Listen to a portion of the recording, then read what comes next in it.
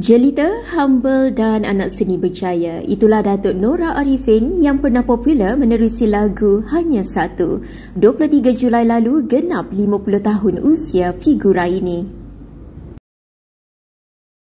Oh betul, saya baru ni ah, dah 50 tahun. Memang ah, dengan bangganya setengah orang sorok, saya tak sorok. Saya Alhamdulillah 50 tahun dah. Masya Allah tu semua Allah yang bagi. Tapi apapun kita sebagai wanita kena jaga kan? Um, Orang kata umur tu is just number kan? Age is just number.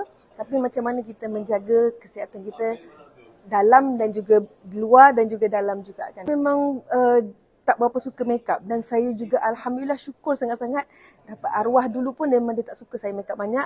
Yang ini pun sama dia tak kisah pun. Jadi kita dia memang lebih suka tengok saya raw makeup. Jadi memang makeup tu dia macam sangat-sangat minimal lah. Tapi kalau kita pergi event tu kena buat lah. Uh, but then again uh, kurangkan makeup yang yang yang lebih-lebih dan kurangkan pakai makeup yang banyak chemical. Sebab chemical tu not good for long term juga So macam saya, saya 30 tahun dulu sampai sekarang saya maintain benda sama je. Saya memang pakai benda-benda yang organik saja. Bagi saya, there's no shortcut. You kena jaga kesihatan tu daripada dalam uh, dan secara alami lah.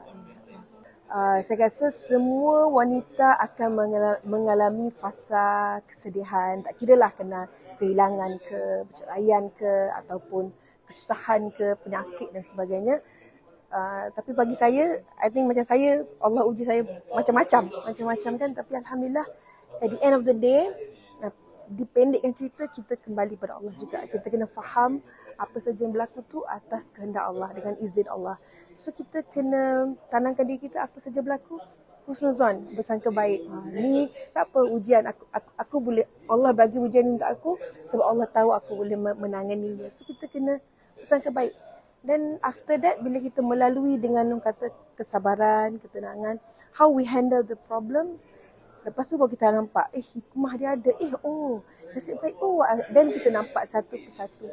Jadi bukan senang kita nak sebut kan, sabar, husnuzan tapi slowly lah saya mengajar diri saya dan saya selalu mengajar pada apa nama ni uh, follower dan sahabat-sahabat yang macam-macam kan sekarang kan.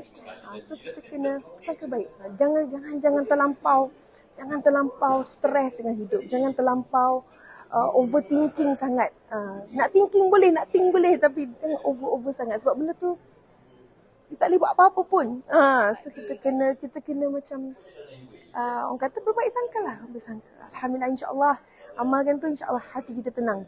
Dan jangan bergantung pada orang. Ha, jangan bergantung pada orang, jangan bergantung pada material. No. So just make yourself happy, make yourself look good, uh, sihatkan diri sendiri. Uh, dah happy lah kan. Seronok kan uh, first cucu dan memang orang kata penghibur hati lah kan. Uh, main, bila main dengan dia tu tu ingat masa kita main dengan anak-anak dulu kan. Tapi memang vibe tu lah lain lah. Uh, orang kata bila setiap kali, seminggu sekali dia datang jenguk Wan dia, dia panggil Wan. So Alhamdulillah memang seronok sangat-sangat orang kata menceriakan dan mengindahkan lagi kehidupan tu lah.